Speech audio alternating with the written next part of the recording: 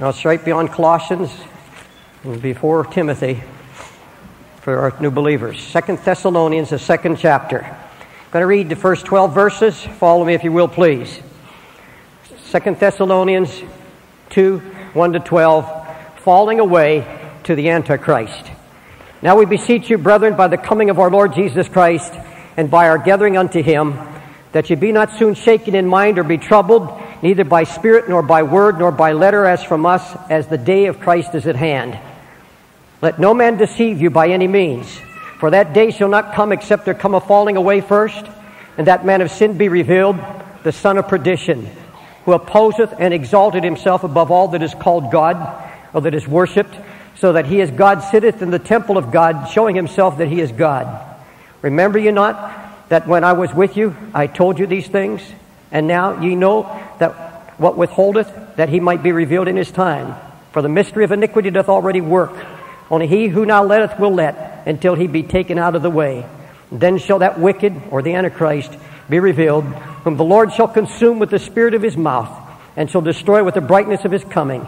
Even him whose coming is after the working of Satan with all power and signs and lying wonders, with all deceivableness of unrighteousness in them that perish because they received not the love of the truth, that they might be saved. And for this cause God shall send them strong delusion that they should believe a lie, that they might be damned who believe not the truth, but had pleasure in unrighteousness. All right, let's stop there and let's pray. Heavenly Father, we are seeing in these perilous times the beginning of an antichrist movement that is sweeping this nation through Canada, the United States, and all around the world. It's not New Age, it's Antichrist. It's Antichrist. And his spirit now is moving and taking control over all the secular. He's taking control of government, and now that spirit is moving into the church. Oh God, I pray that you wake us up this morning. God, shake us. Holy Ghost, come upon me. Let the anointing of the Spirit of God be upon me. I take your authority over demon power, every principality and power of darkness. Satan, you have no place in this house. You have no place lying spirits. I command you in Jesus' name to get out of this house, out of this church, out of minds that this message may be received. Spirit of the living God, come upon me. Let the Holy Ghost find us. Let the Holy Ghost mark us. Let nothing get past your Holy Ghost today. We pray in Jesus' name. Amen. Now, Paul here has outlined two frightful things that will strike the church just prior to the Lord's coming. Jesus said, as Paul said, Jesus will not come until these two awful things happen, and they're going to happen also in the church. Two things. Number one, a great falling away, a great apostasy in the church. Secondly, a spirit of Antichrist overcoming many who are backsliding. A spirit of Antichrist possessing many who are in the church. Now, folks, for years we've been preaching and teaching about the coming Antichrist. And we've been expecting a man, the son of perdition. Some have speculated that that man has already been born, that he's somewhere on the earth now, and perhaps even a man, and soon to take power. Now, is there such a man as an Antichrist? I say, yes, there is a man of Antichrist. He's going to come one day, and he's going to be well received, and I'll tell you why he's going to be well received. He's going to be well received even by many who were Christians, who have been prepared for his coming. And he's going to be revealed. And the only reason he's not revealed now, it's not his time, and the Holy Ghost is holding it back. But one day the Holy Ghost will lift his restraining hand. This man will be revealed. He'll be incarnated by Satan. He will demand and receive the worship of mankind. And then when his work is finished, his time is done, the Bible said he's going to be consumed with the mouth of our holy God. But there is an antichrist spirit. Just as surely as the spirit of Jesus Christ abides in us. The scripture says, because you are sons, God has sent forth the spirit of his son into your hearts, crying, Abba Father. Now, we have a Christ, a living Christ, who's a man now in glory. He has flesh, he has bone, he has hair, he has eyes. He's a living man because he has still got his manhood, even though he is God. He's a man in glory. He is there and we are here, but His Spirit is here. We are living through the Spirit. I live yet not I, but Christ lives in me. Who lives in me? The Spirit of Christ. There is a man Antichrist. You see, there are two Christs in the world Jesus Christ the Lord and Antichrist. Antichrist has a spirit.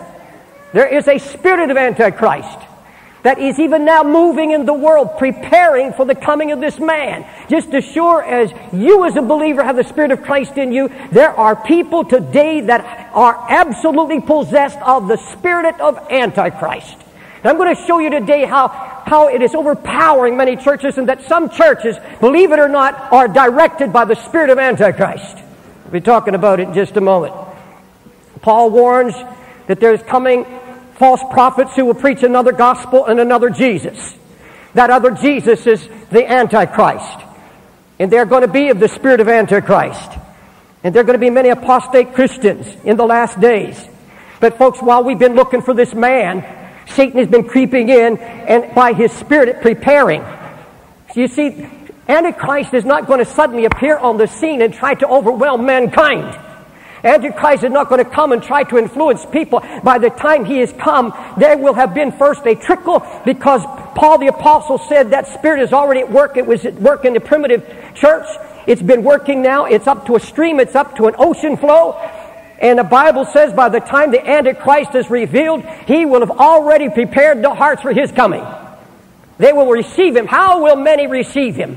Why would certain so-called Christians, backslidden apostate, ever turn to the Antichrist? Because they are of his body, of his spirit, and like-minded.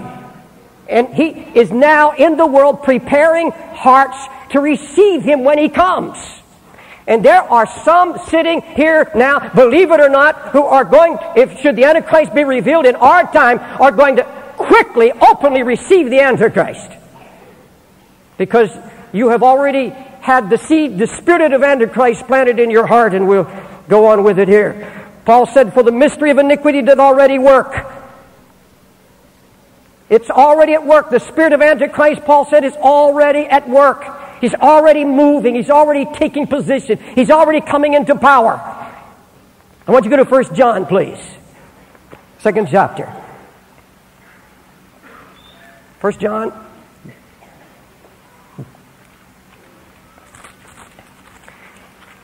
1 John 2.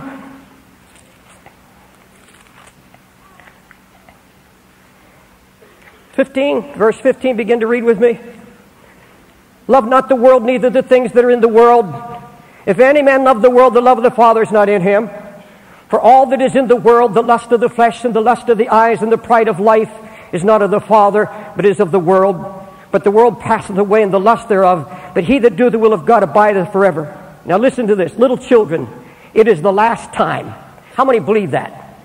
How many believe this is the last time? Folks, if it was the last time when Paul wrote this, or John wrote this, can you imagine how late it is now? Almost 2,000 years later. How much closer, how more real is this text? Little children, it's the last time. You've heard that Antichrist shall come. Even now there are what? Many Antichrists whereby we know that it is last time. It means that there are many that have been infiltrated and possessed by the spirit of Antichrist. The spirit of Antichrist, John is saying, is already moving. It's in many hearts. The spirit of Antichrist. There are many, not, not the man, not many Antichrists, but the spirit of Antichrist in many.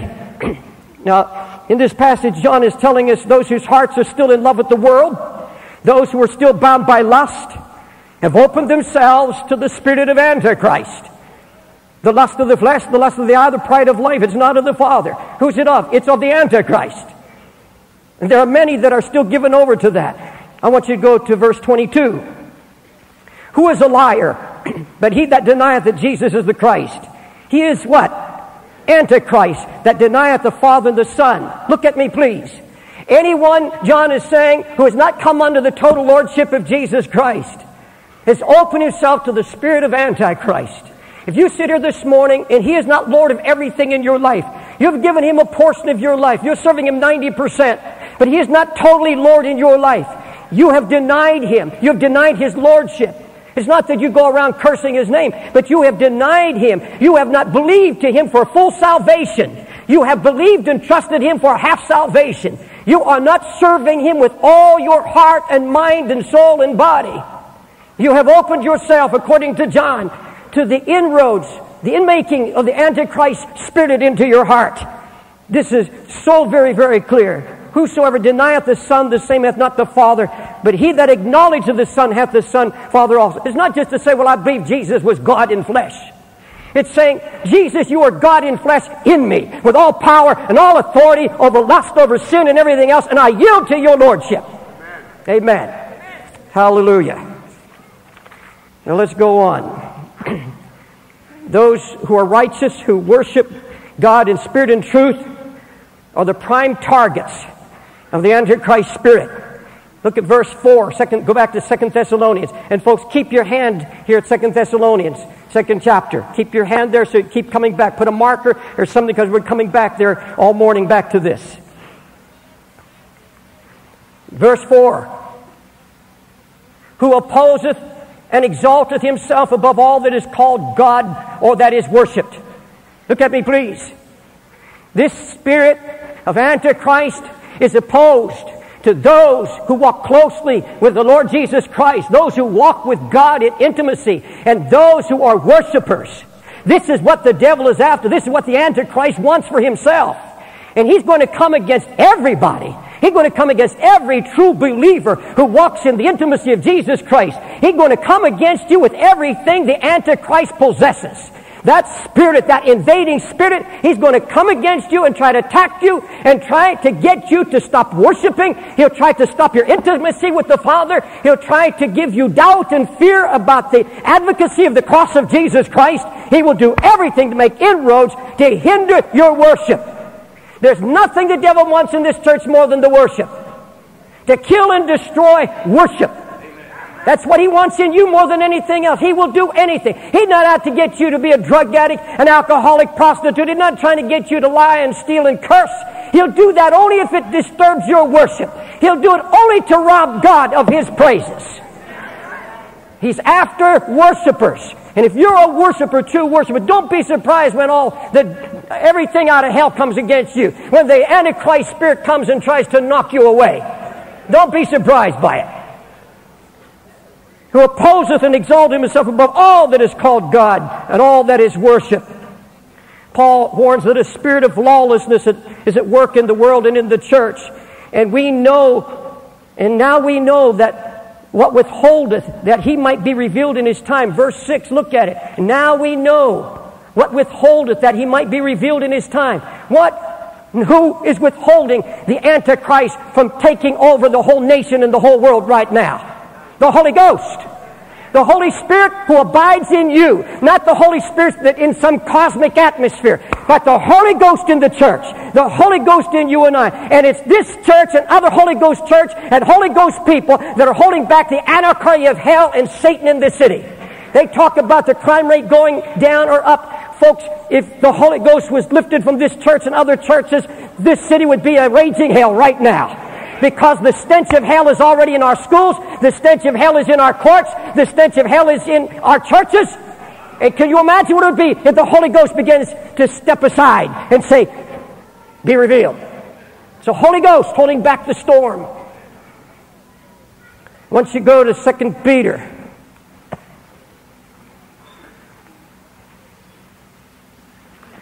go to Hebrews and keep turning right. I'm not trying to be facetious. We got a lot of young converts still don't know where to find certain chapters. Second Peter, the second chapter. Folks, I'm going to tell you something. Listen to me before you before you read this. Careless, lazy Christians are going to be overcome. They're not going to be able to stand. You're careless about reading your Bible. You're careless about the things of God today.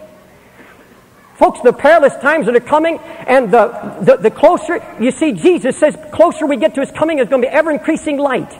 And folks, there's ever increasing revelation, ever increasing power of the Antichrist is being released by the devil right now before the full revelation of the, of the Antichrist. Because when he comes, he's coming, it's just going to be the last step, like stepping through a piece of tissue paper. It will have all been prepared. The hearts are ready, all prepared for his revelation. He's not going to have to prepare anything. It, the devil will have already prepared it. The spirit of Antichrist will have already accomplished his will. And sadly, many Christians are going to be overcome. I want you to start reading with me verse, uh, second chapter, second Peter, verse 17. He's, he's speaking to the church and certain ones in the church. These are wells without water, clouds that are carried with a tempest, to whom the mist of darkness is reserved forever. For when they speak great swelling words of vanity, they allure through the lust of the flesh, through much wantonness, those that were clean escape from them who live in error. While they promise them liberty, they themselves are the servants of corruption. But of whom of a man is overcome, the same as he brought into bondage. Now listen to this. For if after they've escaped the pollutions of the world through the knowledge of the Lord and Savior Jesus Christ, these people claim to be saved through the knowledge of the Lord Jesus Christ. You see that? And then it says, then they are again entangled therein and overcome. The latter end is worse with them than the beginning. Now, folks, listen to me. There are going to be Christians overcome by the spirit of Antichrist that's at work right now. They're going to be overcome. These are those who have escaped the pollutions of the world, who were delivered by the power of God through the knowledge of the Lord and Savior Jesus Christ. But now they've turned aside, for it had been better for them not to have known the way of righteousness. They knew the way. They knew the way of righteousness. Then, after they have known it, to turn from the holy commandment delivered unto them. But it's happened unto them according to the true proverb. The dog has turned to his own vomit again. The sow that was washed to her own wallowing in the mire.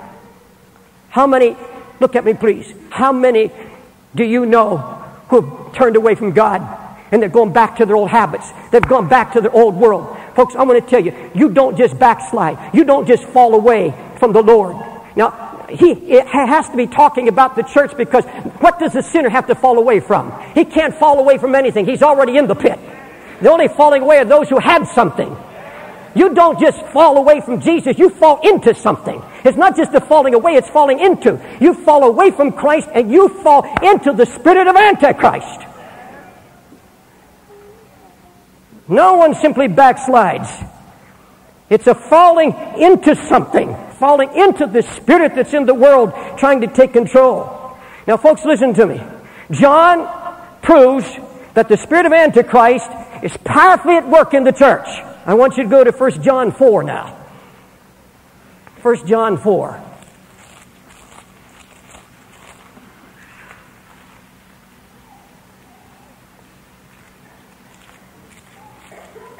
First John, the fourth chapter, verse 3. And every spirit that confesses not that Jesus Christ has come in the flesh is not of God. And this is that, what? Spirit of Antichrist. That's what I've been talking about. Whereof you have heard that it should come, and even now, what? It's in the world. It's in the world now. John said, You've heard that the Antichrist is coming. You heard a man is going to come and be worshiped. But he said, Wake up. That spirit is already at work. And he's talking to the church. That spirit is already here. The spirit of Antichrist is at work. Even now, already in the world, that spirit of Antichrist. Go back to 2 Thessalonians 2 4.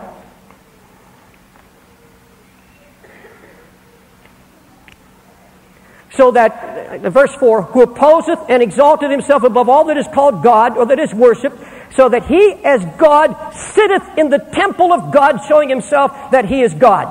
Now, folks, look at me. Quit looking to Jerusalem. Quit looking to the rebuilding of the temple where this man is going to come in and set himself up. He's already on the throne. He's already in his temple. You say, what, what is the temple? What is the temple? Go to 1 Corinthians, third chapter.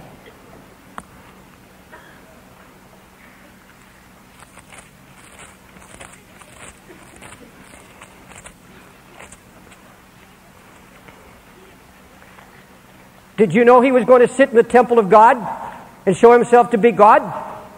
How many know that? He said he's, he's going to be revealed. He's going to sit in the temple of God and show himself to be God. All right, 1 Corinthians, third chapter, verse, verse 16.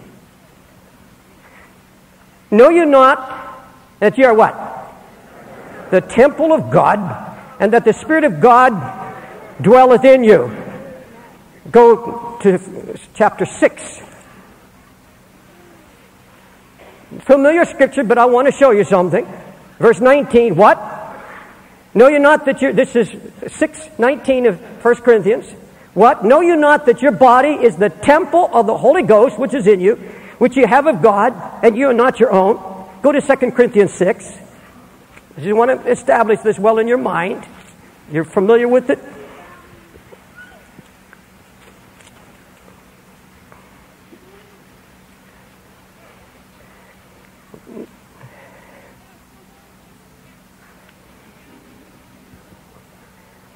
And what agreement hath the temple of God with idols? For ye are the temple of the living God, as God hath said, I will dwell in them and walk in them, and I will be their people, and they shall be my people. Look at me, please. How can such an incredible, awful, frightful thing happen that at one time the living God sat on his throne, ruling and reigning in a vessel, how is it? Now that the Holy Ghost has departed and that temple, that throne of the heart has been vacated through lust, through pride, through covetousness, through gossip, through slander, through all of the things that we've been warned about time after time after time. How is it that we have many Christians who have grown careless, who don't walk righteously before Him anymore? And how is it that the spirit of Antichrist has moved in now and taken over. And according to this Second Thessalonians, the second chapter, he now sits in his temple, showing himself to be God. In other words, he is in control. He is absolutely in control. There is always going to be a Christ on your throne. I don't care where you are, serving Jesus or serving the old, there will always be a Christ on this throne. It will either be Jesus Christ, the Lamb of God, or the Antichrist. There will be a Christ. Every man walking these streets has a Christ on his throne. We know the Antichrist is in full control of the secular media, all secular television, theater, all the networks, all the printed material, all now are under the control of the spirit of Antichrist. Who but Antichrist could so bias the American press and so bias the editors and the writers and the actors so that abortion is called a right rather than a sin. Who but the Antichrist could justify now euthanasia?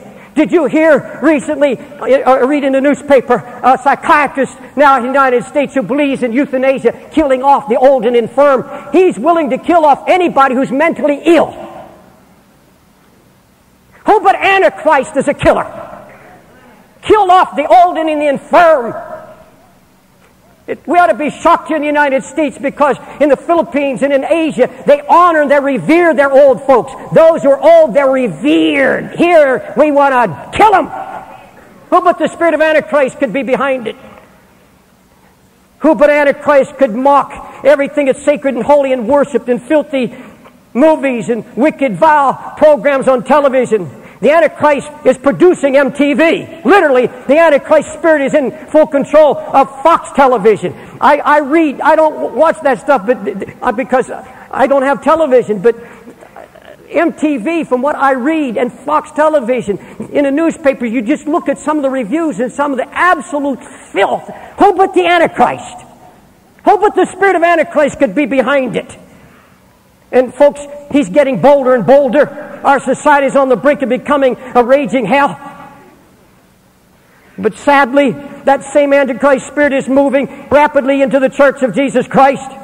We talk about the gates of hell not prevailing against the church. But folks, you've got to know that he's talking about a certain church, an overcoming holy remnant church. He's not talking about that great church mess that's out there being ruled and reigned by the spirit of Antichrist. He's talking about a particular church called out from the world. Only that church will prevail. The gates of hell will not touch that church. But I'm telling you right now, all over the United States, the spirit of Antichrist is absolutely establishing churches. That's exactly what this new uh, outsider friendly gospel is all about. Who but the Antichrist would go out door to door and knock on doors and say, Do you go to church? No. well, what would you like your church to be like so we can get you to come? And based on a survey of what people want, they don't want sermons, so they have skits. They don't want two hours, they want one hour. And they want no conviction. And so what we have now is another gospel with no cross, no repentance, no judgment, but you are allowed to sit there and be soothed in your sins. And you're told about the grace and the mercy of God, but nothing of His judgment, nothing of hell, nothing but heaven and mercy and grace has become a license to sin. Oh, but the Antichrist would build a church on a survey. What would you think if I went out, I went out in the streets and I found all the kids that are playing hooky from school. And they don't go to school. You say, well, what kind of school would you like? So I'll build a school that you would like.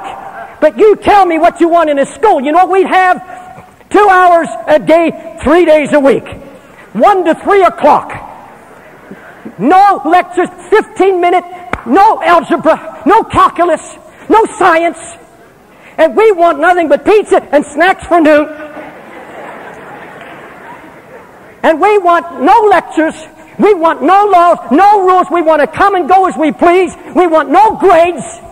We could have the biggest school in New York and every dropout would run. I could go all over, write books and tell everybody about the successful school in New York that was designed on a survey with teenagers dropping out of school. From now, when they've been prepared for nothing, not prepared to live. What are preachers going to do when they stand before the throne of God? And these people have not been prepared for eternity. They don't even have, there aren't a message on hell. Never heard a reproving message. What's going to happen when those preachers stand before God? It's a damnable thing from the pits of hell. It's the Antichrist spirit.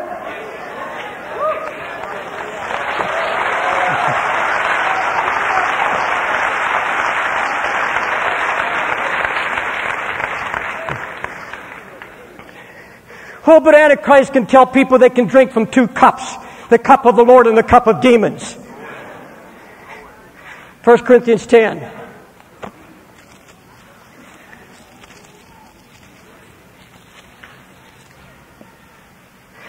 Folks, I want to tell you something.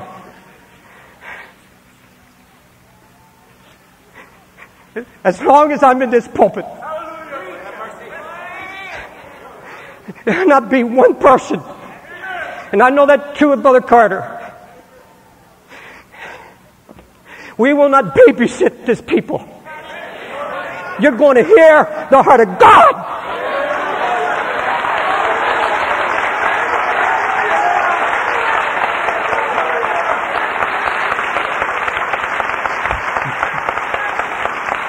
First Corinthians 10,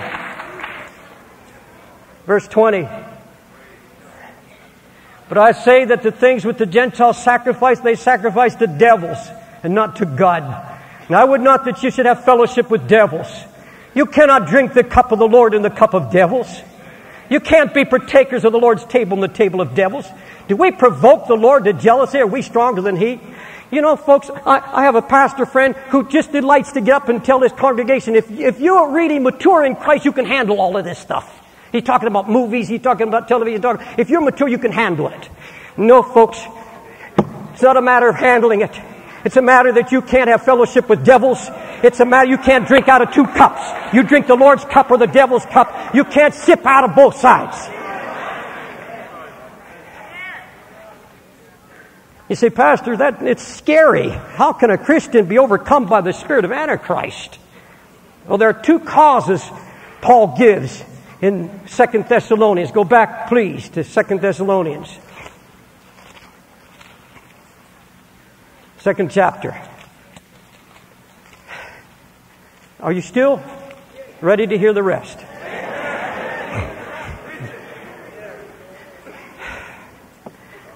Cause number one. Now, folks, if you're ever going to be given over to the spirit of Antichrist, here are the reasons. I'm going to give you two.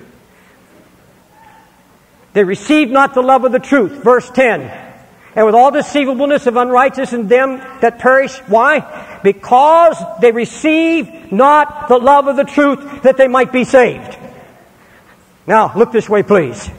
Verse 12 says, And they all be damned who believe not the truth.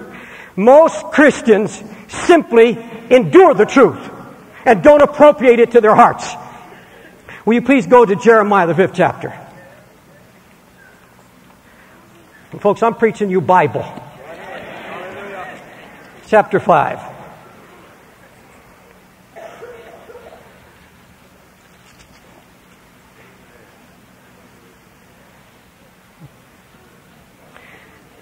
Verse 1 Run, run you to and fro through the streets of Jerusalem and see now and know and seek in the broad places thereof. If you can find a man, if there be any that executed judgment, that seeketh the truth, and I'll pardon it. And though they say the Lord liveth, surely they swear falsely. O Lord, are not thine eyes upon the truth? Thou hast stricken them, but they've not grieved. Thou hast consumed them, but they've refused to receive correction. They have made their faces harder than a rock. They've refused to return. Look at me, please. This, this is so very vital. God's saying, Jeremiah, go find me some man. Go find me anybody that just has a heart for the truth. I'll pardon that one and I'll use, but he said, look what's happening to the people. They say that they love me. They say that I rule in their lives. But he says they don't receive correction anymore. They don't want to be reproved. There's anger in their heart. They're not grieving at the preaching of the word. When it cuts to the marrow of the bone, they call it anger in, in, in verse 30, he said, They're not stricken, they don't grieve, they refuse to receive correction, they've made their hearts, hearts uh, harder than a rock. They say, The Lord lives in me. Most people sitting here this morning would say, Oh, I love God's Word. I, I, I haven't lost my love for the Word of God. Let me give you three ways to determine whether or not you have the love of the Word of God in your heart. Right, first of all, you have lost your love for the Word of God if it's a difficult job for you to get to church and you're bored and you don't look forward and you no longer look forward to the assembling of yourself with believers. The scripture said, forsake not the assembling of yourselves together as the manner of some is, but exhort one another and so much the more as you see the day approaching. The Lord is saying, the closer we are to the coming of the Lord, the more perilous the times, the more important it is that you gather with God's people. There are some that get so excited. They, they just love coming to church. They come every time the doors are open. Now, I know some of you have family obligations, you have job obligations, and God understands that. I'm talking about those who sit at home, those who become bored, they don't want to hear the message anymore. They're just bored. It, the house of God is not alive to them anymore. They drag themselves. If you're dragging yourself to this church, God help you, you're opening yourself to the spirit of Antichrist. The tragic thing that's happening across America and Canada. I just, last week in Texas, and some pastors were telling me how crazy things are getting. They said, Brother Dave, We've already shut down our midweek because nobody comes. We're shutting down Sunday night because already we just have a handful. We have to show a movie or we have to have a concert. We, we can't get people to come. Prayer meetings are gone. And so what we have now is a one hour to one and a half hour Sunday morning meeting. And, and the people are rising up. There was there's one pastor, he's being driven out of his church. It was a prosperity church, and he came in to start preaching. God got a hold and started preaching holiness and separation from the world. They're driving him out on a rail. They don't want to hear it. There's no love of the truth. Oh, they, they love it if you tell them how merciful God is, how gracious God is, and He is all of that. But they want to tell, they want to be told what God will do for me, how He'll bless me, how He'll prosper me, but not what I can do for Jesus, I can give my life and sacrifice and be a missionary.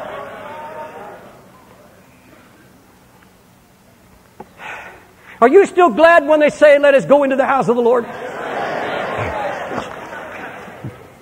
The second way you can know that you're losing your love is by reading someone else's name into the message instead of your own.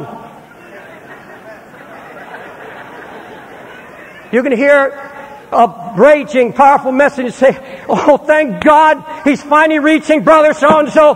Thank God, Sister Smith, she's got it, she's getting it. God, pour it on her.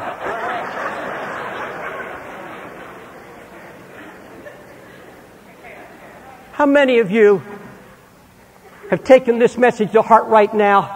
How many of you being moved and convicted in your own heart and you're not thinking about anybody else? You're saying, God, pour the word into my heart.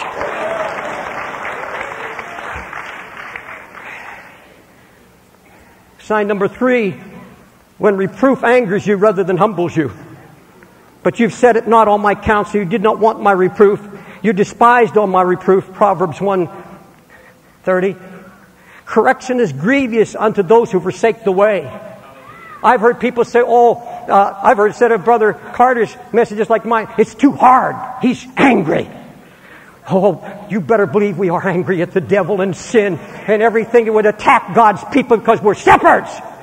We're angry at that and not at people. But the Bible said, correction is grievous to those that forsake the way, and he that hateth reproof shall die. He that hateth reproof shall die. All right? Let me, cause number one is a, is a loss of love for the Word of God. Cause number two, verse 12. That they all might be damned who believe not the truth, but had pleasure in unrighteousness. Look at me. Pleasure madness. Pleasure madness. Folks, I'm coming near the end, but I've got to get this into your heart if you will, please. That they had pleasure in unrighteousness. I want to prove to you right now that in the last days, that the lovers of pleasure are going to be more inside the church than outside the church. When we think of lovers of pleasure, we're thinking of gamblers and we're thinking of prostitutes, we're thinking of drug addicts, we're thinking of the jet set, we're thinking of those that are out in the bars and the racetracks, we're thinking all the lovers of pleasure there. That's what the Bible says. Second Timothy. Just turn right. A few pages. Third chapter. Second Timothy 3.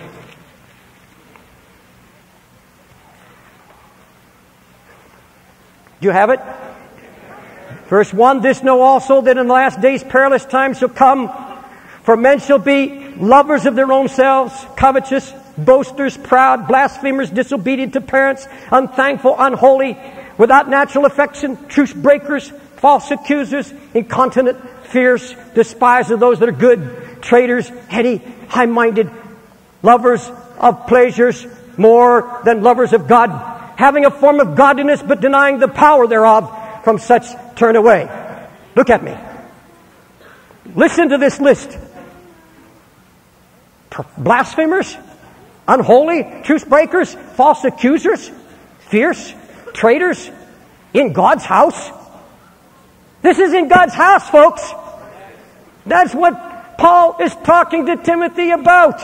He said, beware. These are going to be this is going to be the spirit of Antichrist in the last days.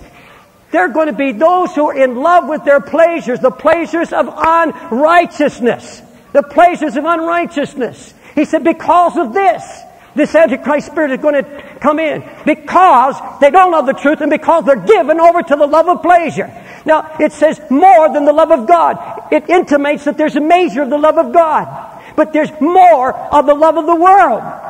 He's talking about so called believers. And folks, if you sit here this morning, you have not laid down the pleasures of this world, and he's talking about the pleasures of unrighteousness. I, I want to, before I close, I have to get this off my heart. Listen to me now. Because you, you will stand on the, before the judgment seat, and I'm going to be there when you pass under the rod. I am totally convinced now, more than ever, that cable television, filthy movies, both in the theater and the home VCRs, is the number one cause, is going to be the number one cause of hearts being prepared for the Antichrist. The number one. Because the eye is the gate to the heart. And he's going to march right through the eye and take control and sit on the throne of the heart because of filthy, corrupted, jaded eyes. I remember a minister friend of mine a number of years ago telling me went out to restaurant. He said, Brother Dave, and I wasn't paying much attention. It didn't hit me at the time. He said, you know, I got a one of those big, uh, what do you call those? Satellite dishes. It has Playboy on it. He said, Those movies are so dirty, sometimes I feel like taking an axe and just go chop it down. I never thought anything about it until later, a year later, when he took a fall into deep immorality. I thought, how did he know that, that it was so bad? And what angered him that he's going to take an axe and chop it because he's watching it? And Emma took a terrible fall, an awful fall that brought great reproach on so many. You go ahead and you go to the show, go to a movie, pluck down your five or six dollars, and you sit there. And listen to me good now. You sit there. And you sit there while there's blood and violence. And you sit there while the name of Jesus Christ is cursed and mocked and run through the mud and trampled. And the name of your holy God is cursed. And I'm going to tell you what you've done. You've just drunk from the cup of the devil. You have fellowship with demons and you've provoked God to jealousy and you have supported the Antichrist spirit and the Antichrist spirit that Satan, Satan sees where you're at. He knows where you're sitting in the seat of the ungodly. And you're going to sit there and you're going to take that. You rent a movie and put it in your VCR. Now, folks, I'm, I'm not standing here uh, saying in our office we have VCRs and we watch the tapes that come in. We are taping this right now on, on video. I, I'm not against that. I'm not talking about that. I'm talking about when you go and you go past those dirty movies are even PG 13 now. Even PGs curse the name of Jesus. Do you not even have the grace to get up and walk out? Do you sit there? You wouldn't sit there and let them curse your wife or your husband. You wouldn't sit there and let them curse your, they named your children like that. You would get up and scream and say, stop it and run out. And yet you'll sit there and let the name of your Christ be maimed, sit in front of television and watch filthy, filthy, rotten stuff, and let that spirit of Antichrist seep into your soul. Provoking the Lord to jealousy. You know what it is? It's called a sacrifice to the devil. That's what God calls it, a sacrifice to demons. God help us. Now, before I close, I'm going to give you the good part. Hallelujah. Go back to Second Thessalonians. They're going to be just a precious body, Paul says, who are going to rise up against the spirit of Antichrist and they are going to stand strong. They will never be overcome. They're going to overcome the world, the flesh, the devil. They're going to overcome the wicked one, the Bible says. Hallelujah. Verse 13, 2 Thessalonians, second chapter. But we are bound to give thanks always to God for you. Here's that special people. Brethren, beloved of the Lord, because God hath from the beginning chosen you to salvation through what? Sanctification of the Spirit and belief of the truth. Oh, look, look at for just a minute. I really believe that this church, the great majority that are sitting here this morning, you're here because you love the truth. You're not afraid to be reproved. And because of that, God sanctifies your spirit. He sanctifies your mind. He convicts you when you've done wrong so that you don't run out there saying, oh, everything is all right. But you examine your heart before the Holy Ghost. The Word, a sharp two-edged sword, pierces and it heals you. Hallelujah. Wherefore, He called you by our gospel to the obtaining of the glory of our Lord Jesus Christ. Therefore, brethren, stand firm or fast and hold the traditions which you've been taught by word of our epistle or our epistle. Now our Lord Jesus Christ himself and God, even our Father, which have loved us, given us everlasting consolation and good hope through grace, comfort your hearts and establish you in every good word and work. Hallelujah. Folks, keep your heart open to the Word. Love the Word of God. God will establish you. When that Antichrist spirit comes in like a flood, the Word of God lifts up a standard against it, cannot make an inroad to you. The more wicked this world becomes, the more righteous you will become in the name of the Lord.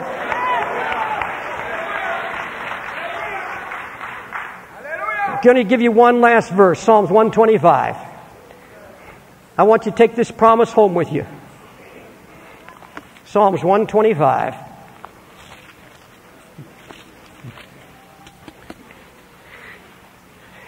Folks, you got to memorize this. First three verses. They that trust in the Lord shall be as Mount Zion, which cannot be removed. Oh, let the devil rage. Let the Antichrist spirit come.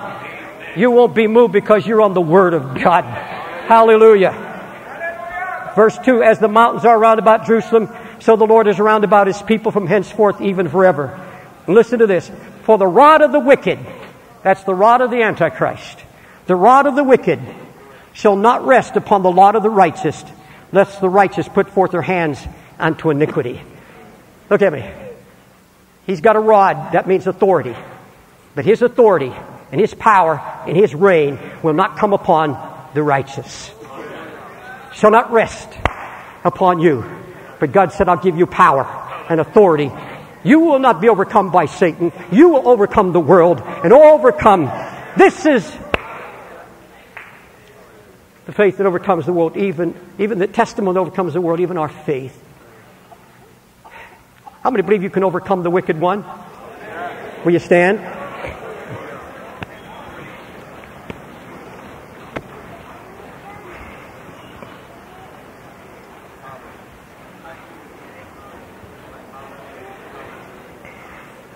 Oh, Jesus, send your Holy Spirit and bring conviction. Lord, there's some people need to repent. They've got to repent, Lord, of carelessness and of, of just slipping away from the love of the Word. God, you told me to call people to repentance this morning. Lord, there's some that come for the first time and they, they've been shocked by what they've heard. They've been moved and they've been convicted. And others, Lord, they've been in this church for a long time there's some, Lord, that are getting hardened by the word. Oh God, don't let us get hard. Let us receive it and open our hearts. Lord, I believe already some have had the inroads of the spirit of Antichrist into their heart, and it needs to be plucked out. It has to be driven out of their hearts this morning.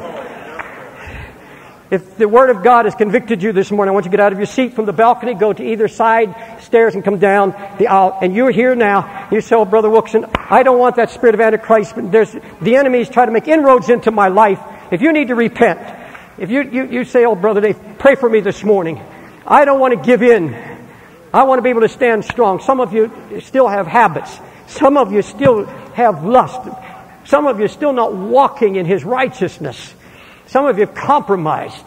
Some of you need to be delivered from being a couch potato and watching all that filth. God wants to cleanse your mind. God wants to put a new heart in you this morning. Hallelujah in the aisles and here have never come forward in this church before, raise your hand, please. Your first time to come forward in this church? Yes, God bless you. God bless you.